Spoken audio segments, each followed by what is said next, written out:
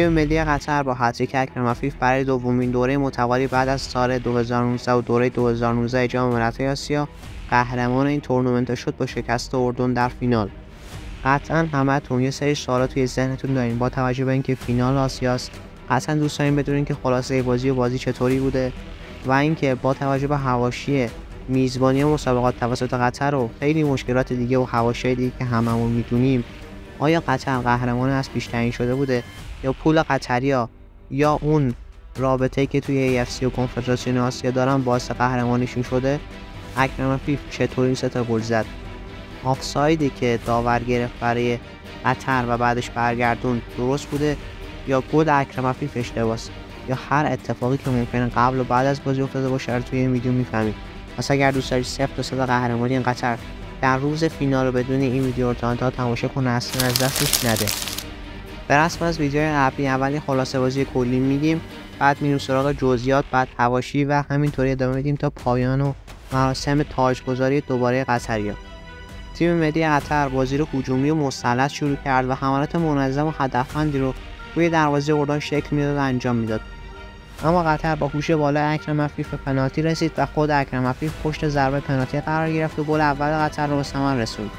اما در ادامه نیمه نخست انابی ها همچنان روی توپ و میدون مسلط بودن و اجازه ندادن که اردنیا موقعیت چندان خطرناکی روی دروازه قطریا ایجاد کنند.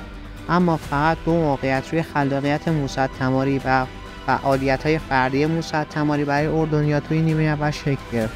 تا قطر نیمه اول رو یک بر برنده به میدون بره و تا اینجای کار قهرمان باشه. اما نیمه دوم برای قطریا خیلی خیلی بد شروع شد و برای اردنیا خیلی عالی. اردنیا خیلی خیلی خوب بازی شروع کردن و مسلط بودن و حملات دامنه‌داری و از وسط زمین و یک سوم دفاعی خودشون ایجاد می‌کردن و روی دروازه قطر میبردن. و واکنش های فوق‌العاده مشعل برشام اگر نبود و مانع از گلزنی اردنیا نمی‌شد قطعا اون موقعیت های دیدنی تبدیل به گل می‌شدن و یکی از دیدنی ترین گل های جام رو رقم می‌زدن. اما در دقیقه 67 مشعل برشام نتونست مقاومت کنه و یازان نیمات روی اشتباه مدافع قطری داخل محوطه صاحب توپ شد و تونست با ضربه محکم روی پا توپ رو تبدیل به گل کنه تا بازی به تساوی کشیده بشه که این اشتباه اشتباه timing مدافع قطر بود. اما در حالی که چند دقیقه بود بازی در اختیار اردنی ها قرار داشت و اردن تیم برتر میدون بود با یه حرکت موزدی و اشتباه و بیدقتی مدافع اردنی یه بار دیگه پنالتی به سود قطر اعلام شد.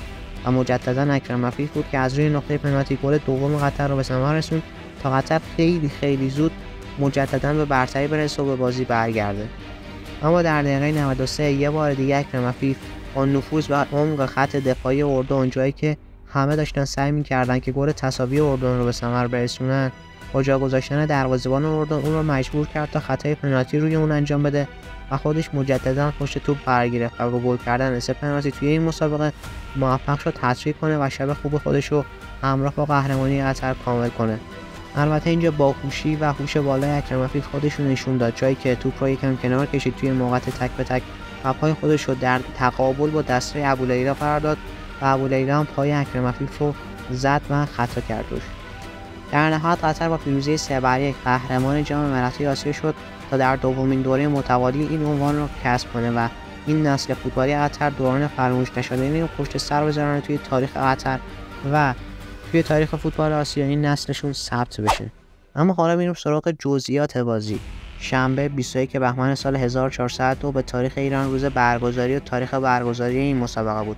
فینال جام ملت‌های آسیا سال 2023 و محل برگزاری ورزشگاه لوسایل استادیوم. داور ما نینگ از چین و ترکیب ها ترکیب قطر مشعل برشام لوکاس مندز مهدی علی طارق سلمان محمد و آقا حسن الهیدوس احمد فتحی جاسم جابر یوسف عبدالرزاق اکرم مفیف و موز علی. با سرمربیگری مارکز یا بارتولوم مارکز. در طرف مقابل اردن اینطوری وارد زمین شد. ابو لیل درون دروازه سالم جاین یزان العرب عبدالله النصیب محمود المردی نور عوابرد نازار رشیدان احسان حداد علی المان یازان نعیم و موسا تماری اولین موقعیت این بازی در دقیقه 6 اتفاق افتاد. جایی که اکرم افیف در موقعیت تک به تک البته از زاویه بسته با ابولیلا قرار گرفت که ضربش اصلا تعریفی نداشت و ابولیلا خیلی خوب زاویه رو بسته بود و توپ رو به کورنر فرستاد. در دقیقه 8 باز هم اکرم عفیف در محوطه جریمه اردن صاحب توپ شد و ضربه فنی اون از بین پاهای مدافع اردنی ها عبور کرد. اما یزید ابولیله هوشیار بود و توپ رو در آغوش کشید.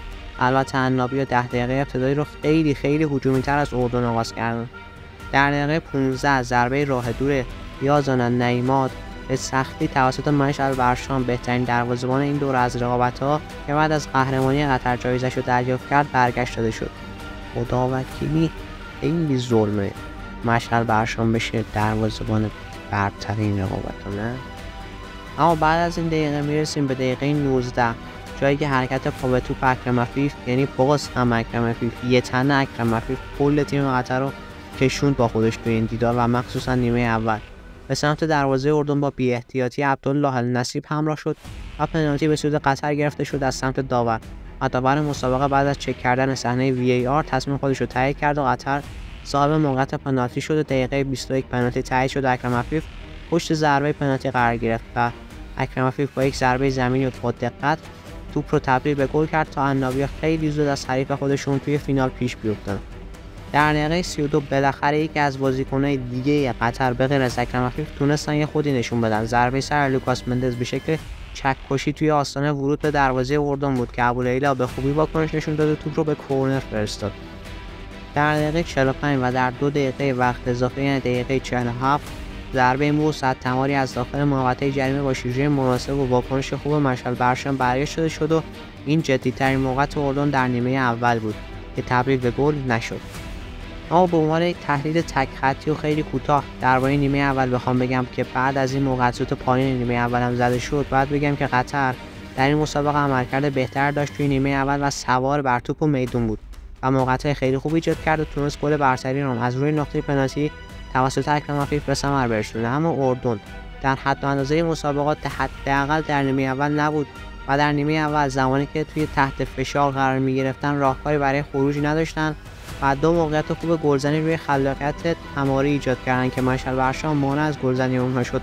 ولی همونطور که می‌دونید فعالیت های فردی توی تیم 11 نفره جدا خیلی خیلی مناسب نیست و همه تیم همکاری کنن.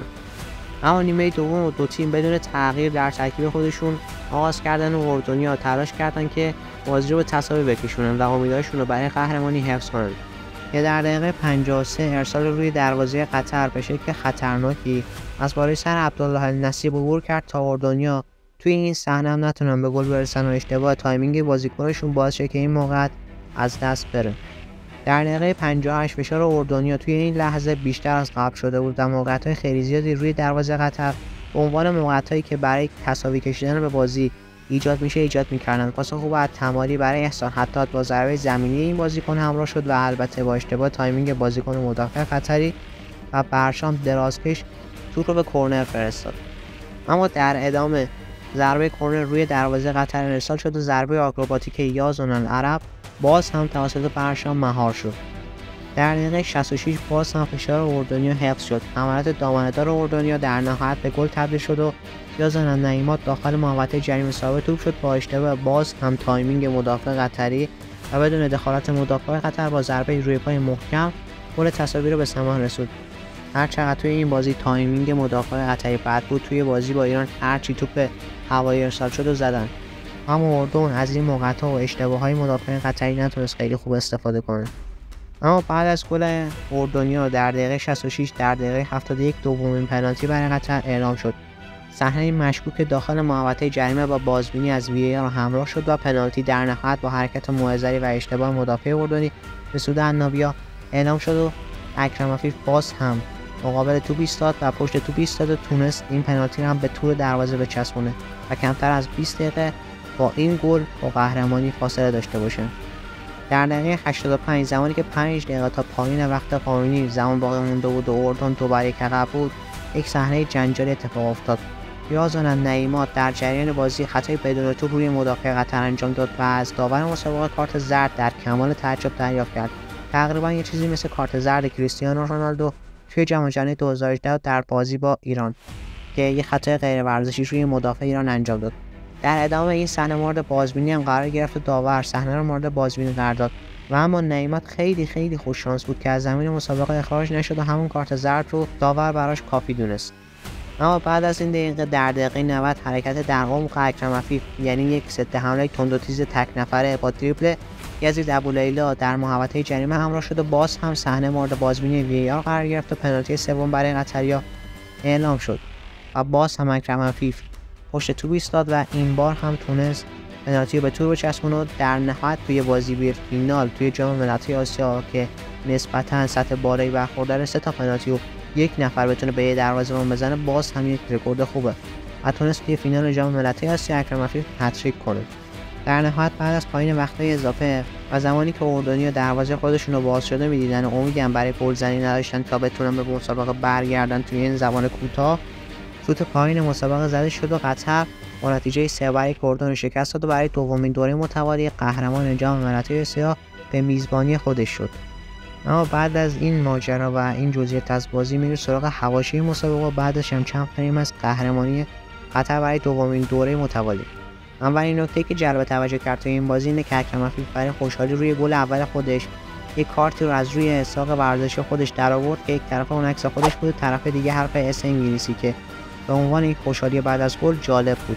البته اینو میشه به همسرش که توی ورزشگاه بود نسبت داد در واقع. نکته بعدی هم در واقع همینه. همسر اکرم افیف توی ورزشگاه بود چند فریم جالب رو از خودش ثبت کرد. باز هم مثل اون دو تا نکته قبلی این نکته هم مربوط میشه به اکرم افیف اکرم افیف ستاره تیم ملی قطر با برانکارد. در شرایطی که به شکلی نشون می‌داد که اصلا نمی‌تونه بازی کنه در دقایقی از نیمه اول از زمین خارج شد اما بعد از چند دقیقه به زمین مسابقه خیلی سالم و سرحال برگشت و هوادار قطری با فریادهای خیلی بلندشون خوشحالی خودشون از بازگشت ستارهشون نشون دادن. نکته آخرم برمیگرده به ضربه و خطای بدون توپ یا غیر ورزشی یا زنن نیما توی مدافع قطری که منجر شد کارت زرد دریافت کنه. چیزی تو مایه خطای کریستیانو رونالدو توی جام جهانی 2018 که قبلتر هم گفتم. اما واقعا نظرتون چیه مستحق کارت قرمز بود یا کارت زرد واسش کافی بود؟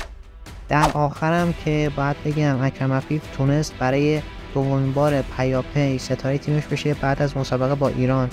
و در کنارش تیم ملی قطر تونست با شکست سه که اردن برای دومین سال پیاپی به عنوان قهرمانی جام ملت‌های آسیا برسه. تا این بار هم به عنوان میزبان مسابقات چم قهرمانی بالای سر ببره. اکرم افیف هم مهاجم تیم ملی قطر در این مسابقه هتریک کرد و علاوه بر تاثیرگذاری در قهرمانی تیم ملی کشورش عنوان آقای گلی و در کنارش به عنوان بهترین بازیکن جام هم لقب گرفت و این جایزه رو در اختیار گرفت.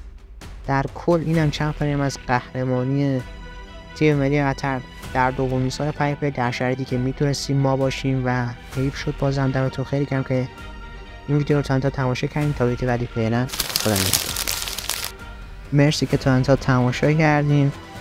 دمتون خیلی گرمه. like comment subscribe کانال تو فراموش نشه. خیلی من دلگرم می‌کنه به کارم. اگر دوست داشتین واسه دوستاتونم بفرستین.